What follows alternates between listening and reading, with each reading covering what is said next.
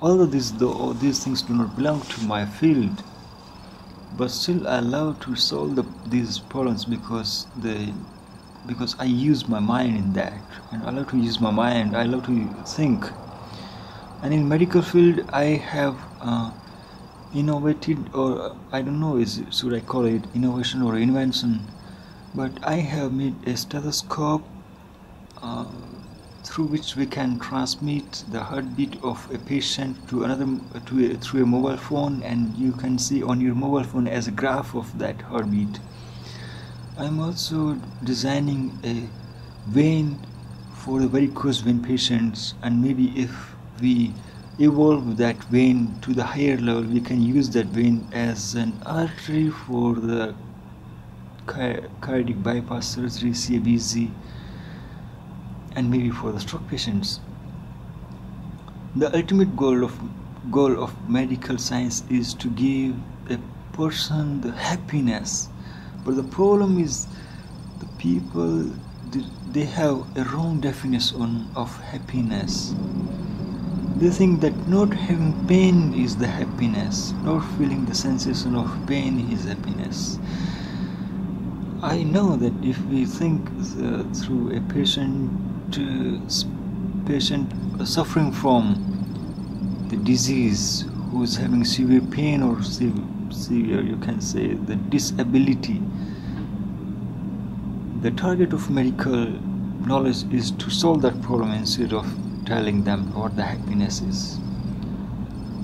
But but the main thing is how these diseases which are not supposed to occur in a normal human being still they occur in them because of their life habits because of their wrong definition about the happiness and about the life. Because they think that eating more food more fatty food is the happiness. Because the thing that fucking every person without condom is the happiness which create which starts the problem.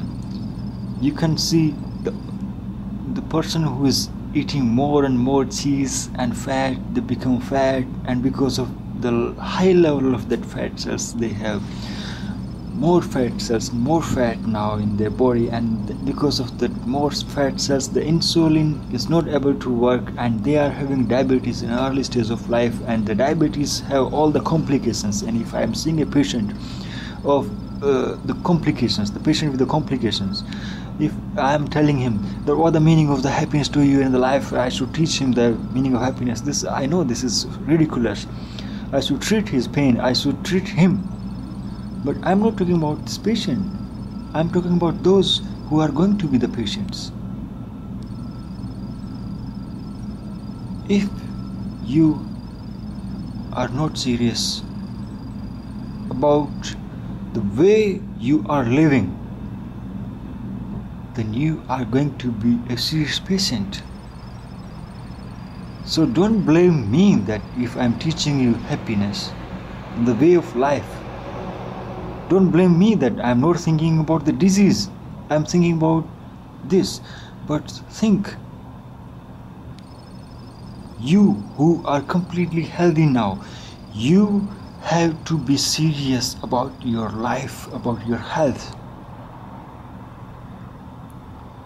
The money, the food, these have no value in front of your life, in front of your body. You have to work hard through your body. You have to think through your brain. If you want to enjoy that, you have to change the definition of happiness and enjoy what this media is giving you. The media is giving or providing you the definition of happiness and enjoy is just they want to earn money from you. They know this is not the true definition, but still they show they they try to prove that that happiness means fuck everybody. Happiness means eat. Happiness means drink. No, they are just doing this because they want to earn money and they are they are really serious about their life those who are doing this through media, they are not fat. They don't have any diseases because they know the truth. It's you who don't know the truth and who think that they are true. You have to think.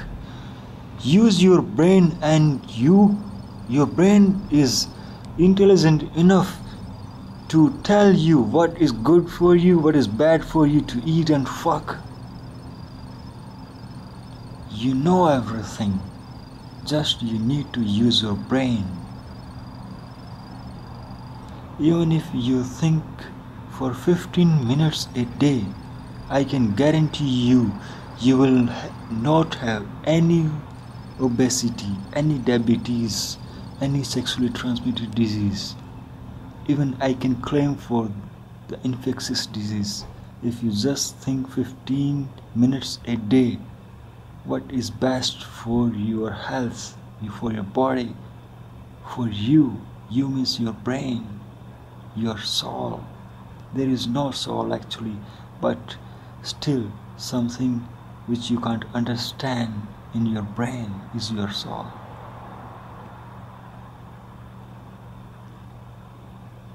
So I don't know, should I request you or should I scold you?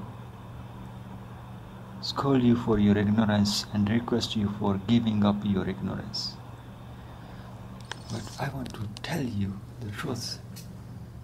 Think. Use your brain.